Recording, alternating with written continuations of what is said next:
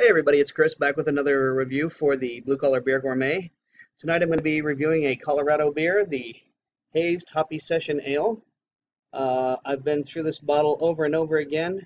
It describes itself simply as a Hoppy Session Ale.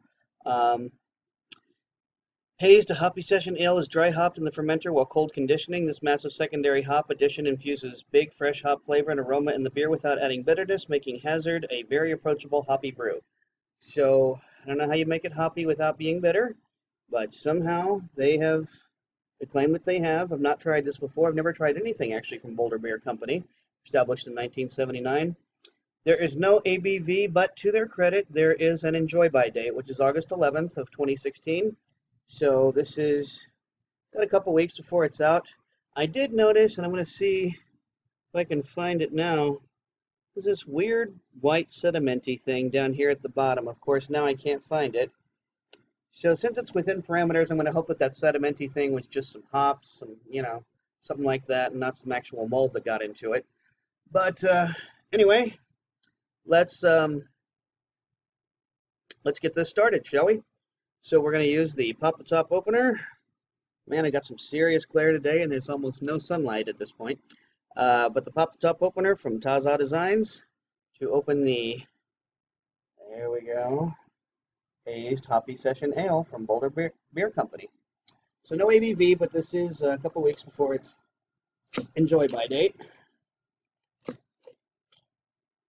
And there you can see a perfect cap that could easily be put into a wall mount or used to reseal the bottle. So Pop the top opener, that's the way to go. I am going to use my Weizen glass uh, because it's not very often that I get to use it. Although I have discovered that you can use Weizen glasses for goses, so that does make a change of things. But um, considering this doesn't describe itself anything more than as an ale, I thought, you know, why not? Wow, that is that is some serious head. Holy cow! Did I shake this up before? didn't realize it ladies and gentlemen, that is nothing but head. So uh, I'm going to try to see if we can't. Golly gee whiz, that's a lot of head. I'm wondering if maybe that bottle didn't get uh, more shaken up than I realized. Because I was not expecting this much. But, um, you know, that's how it goes sometimes. Uh, Certainly am getting a hoppy aroma off of this.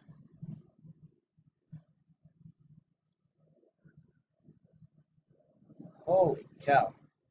Man, that's a lot of head. This got a lot more shaken up than I realized.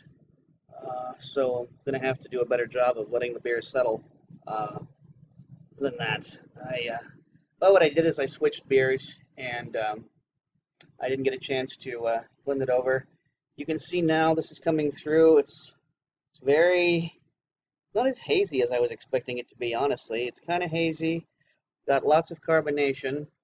Uh, that's aside from this head that is so illustrious. Hoppy flavored head. Okay.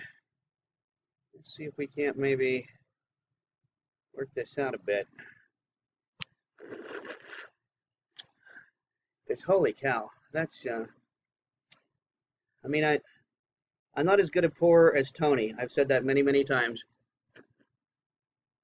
My friend who joins me in the Tiger Socks videos, I've, I've said before, Tony could pour 10 ounces of beer into an 8 ounce glass. But uh, I'm usually not this bad, and this is something. Well, I feel like I'm wasting time standing here talking to you while I'm just trying to get this head to calm down a little bit. But um, Trying to finish this off.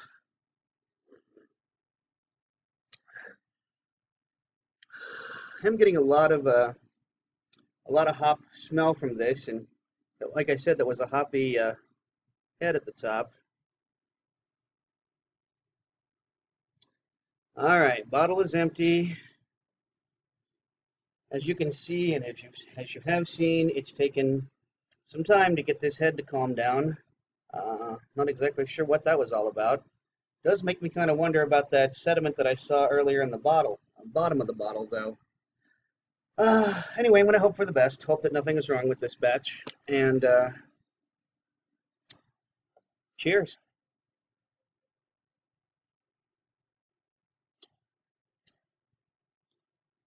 Hmm. Um, I think I need a second taste.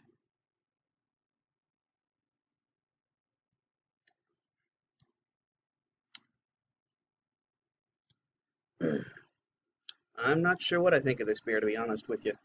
Um, I know I don't feel strongly enough to, to like it. Uh, hmm. I, I, I guess it is.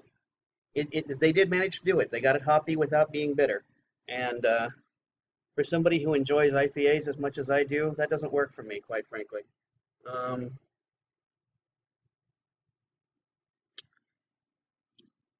about a medium mouth feel. Not a lot of flavor. Uh, it's a unique beer. This is this is unique. There's there's no doubt about that. Um, it's just uh, huh. Well, I don't know. I'm not crazy about this beer. Um, and I'm not even sure who to refer to this beer. Uh, if you like, I, I, actually, you know what? I think if you like your pale ales with uh, a little bit of spikiness, like, um, I could maybe see Zombie Dust fans going for this, and I'm a Zombie Dust fan myself, but I'm not crazy about this. Uh, but maybe other Zombie Dust fans that like it. If you if you like a little kick to your pale ale, that's basically what this is. The hazed hoppy session ale from Boulder Brewing Company. But uh, I am not crazy about this beer. Uh, I don't dislike it, but I'm not crazy about it. It's uh, it's unique. I'll give them that. They've created something unique, but not something that I'm really that fond of.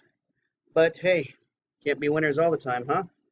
Anyway, no, there's and like I said, there's nothing wrong with the beer. I I, I think uh, those of you who like a little kick in your pale ales, like maybe a rye pale ale, things like that. Um, uh, you might dig this. Um, and maybe other uh, Zombie Dust fans would dig this.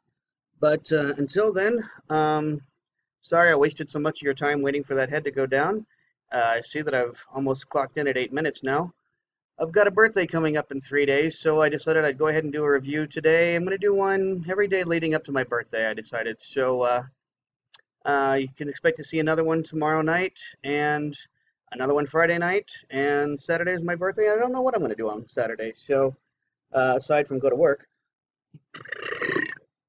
Anyway, I did make it over to the Eastern European market. Um, it's not going to be the discounts, uh, discounted beers like I normally get, but there are going to be some uh, beers that I will showcase from that market. Uh, they're Eastern European as well as Mediterranean.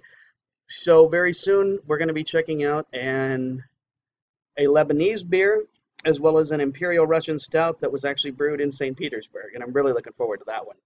So anyway, um, until then, drink good beer, don't break the bank doing it, and cheers.